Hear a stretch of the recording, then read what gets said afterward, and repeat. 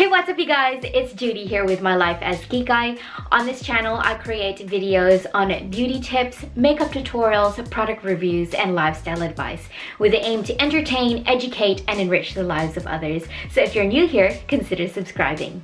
In today's video, I will be showing you how to exfoliate your face. If you haven't already realized, skincare to me on my channel and in my life is just as important to me as applying makeup is. So if you guys want to see how to exfoliate your face, then just keep on watching. Now why is exfoliation so important you ask? Now it's very important to understand that your skin continues to grow. Like hair, it will continue to grow in layers. So as the new regrowth comes through, the old skin will fall off. Now as we age, the rejuvenation process that our skin naturally does on its own will slow way down. And dead skin cells will build up on the surface of your skin, causing dry spots, dark spots, and dullness. So a way to care for your skin and help it along on its rejuvenation process is to incorporate an exfoliation process into your skincare routine. And in time, you'll see your skin turn brighter, softer, and more luminous. Not only will exfoliation help care for your skin, but if you're someone who wears makeup on a daily basis, then exfoliation will also help the makeup that you apply on top of your skin apply more flawlessly, smoothly, and give it a more airbrushed look. So it's a win-win all around. It's also very important to note that you don't have to do this exfoliation process every day, as this will only strip your skin of all the good and natural oils that it will produce. And also, do this process at nighttime before you go to bed. So any other skincare products that you apply on top of your skin after you exfoliate will have time overnight to work its magic on your skin. Once you do this process of exfoliation, it'll inevitably leave your skin feeling a little bit drier. So it's always important to follow up with your soothing lotions, moisturizer, anti-aging creams. Now choosing a suitable exfoliant for your skin type is very important. If you choose an exfoliant with texture, like with those little exfoliant beads, then make sure that you choose something that has texture that is well rounded and smooth, not something with sharp jagged edges because you don't essentially want to be sandpapering your face. I know the brand Sukin has several natural face exfoliants. In fact, if you go to like Chemist Warehouse or Priceline or places like that, I'm sure you'll find a whole range of different face exfoliants. I know Neutrogena has some as well. If you have super sensitive skin, then you might not want to use something that is grainy, that has a texture, and something that you feel is scratching the skin of your face. And I'm the same. I prefer to use what is technically called a chemical peel or an exfoliating gel. Now don't get scared off by the word. It really just means that the product is engineered to peel your skin without the abrasive particles. These these types of products will cleanse and exfoliate the skin without scratching the surface of it. Two really affordable options for this type of product are the two ones that I use from The Body Shop. This one is the Vitamin C Glow Revealing Liquid Peel. It's rich with vitamin C from the Amazonian rainforest in Peru. That's what it claims to have. And it removes dull, tired, and grumpy skin. The other one that I use is also from The Body Shop. This one is from their Drops of Youth line. And it's also just um, a youth liquid peel exfoliant. Also, excuse my nails. So both of these products don't have particles in them. These are both liquid peels that is engineered to exfoliate and rejuvenate the skin without the abrasive particles. Today I'll be using the Jericho Cosmetics Pomegranate Facial Peel. It is a lot more expensive, but I'll be using this one today because I have it and there's just a little bit left and I want to use it up. But these are essentially the same thing. They do the same thing. If I can find these products online, I will leave them listed in the description box down below for you to go check out at any point in this video if you want to try them out. Unfortunately, the Jericho Cosmetics Pomegranate Facial Peel, I have done an internet scouring and I cannot seem to find it anywhere, but I will search a little bit harder and if I do find it, I will leave it listed down below. Otherwise, if it's not there, I couldn't find it, I'm sorry. But these are essentially the same thing and there are a whole lot of other options for you to try out there as well. So now having said all that, I'm gonna get you up close and personal and I'm gonna show you how I exfoliate my face. Okay, before you start this process, you're gonna wanna make sure that your face is warm and damp.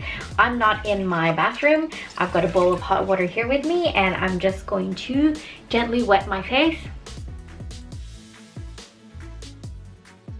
Now I'm going to take a small amount on my fingertips and I'm going to do section by section on my face so that the product doesn't have time to dry and just sort of cake on there. So I'm going to take a little bit on my fingertips and use only very gentle circular motions on your face, especially around the delicate eye area. Be sure not to actually scrub your face because this will cause you wrinkles Just very gently move the product around and let your fingertips and the product do the work.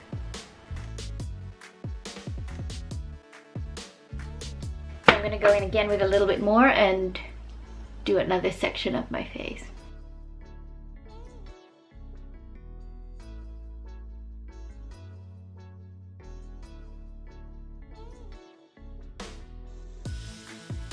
Always be sure to bring the product down your neck as well because your skin doesn't stop here. So always take the time to go a little bit further down your neck as well, especially since that is a place where we also apply makeup.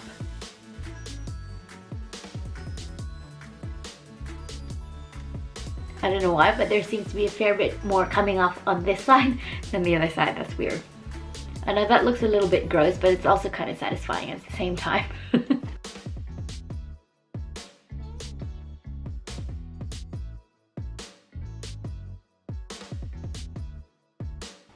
Also, excuse my fingernails.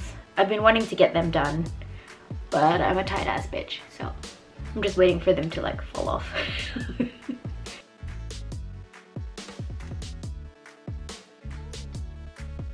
I know it looks kind of gross. Make sure that you get into all the crevices, contours of your face, especially around the nose and around the mouth. But it's also very important to note that once you get around the nose and the under eye area, to just be extra gentle because your eyes are super delicate and you don't want to get that product in your eyes either. it's also helpful to do this around the places where you struggle with texture. For me, that's around my forehead here and around the nose and around the mouth. So I'm gonna really focus a lot of that product in those areas as well. This is actually taking off a whole lot more than I thought it would the more that I scrub. Now because this exfoliant isn't abrasive, like it's really just product I'm rubbing over the surface of my skin, you could even do this process twice because it is actually quite gentle. Now if you see my skin getting red, that's just a natural part of exfoliation because I am rubbing warmth into my skin as well. It's not actually irritated or anything like that. I'm gonna take that down the neck as well.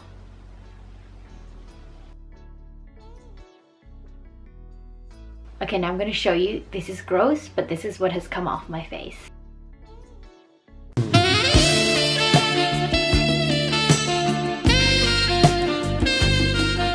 Okay, I'm gonna go splash some warm water over my face and wash all those particles off and I'll be right back. After you wash it off, always make sure that you pat dry your face with a clean towel. And once you've done that, you can go on with your usual nourishing skincare routine.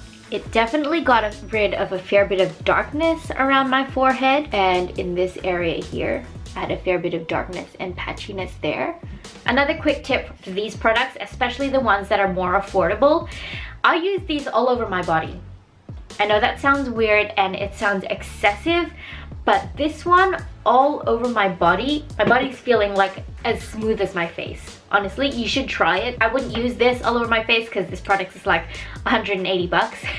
but these ones are like something like 28 $30 each and they last for a long time. As you can see, I've had this bottle for about four months now, five months, something like that. And I'm only halfway through and I only have to do this process once a fortnight and I probably should do it more often on my body because my skin's starting to look a little ashy and that's never cute.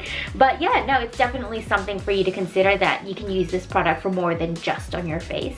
Oh, it feels good. I was actually so due to do this and I thought I may as well film it and show you guys how to exfoliate your face. So in conclusion, exfoliation is definitely a really important step in your skincare, not to be skipped, but don't overdo it. This step in your skincare routine done correctly and with the right products for your skin type is definitely a step in the right direction for more glowy, luminous, and supple skin. See, that's it for this video guys. If you did enjoy it, please give this video a thumbs up. Be sure to subscribe before you leave if you found this video helpful. Thank you so much for your time. Thank you for being here and I will see you guys in my next video. Bye. My goodness, it feels so soft. Look at these, ew get you all up in my grill, not grill, direction. No, blah, blah. Choosing a suitable exfoliant exfoliant, exfoliant. why do i keep saying that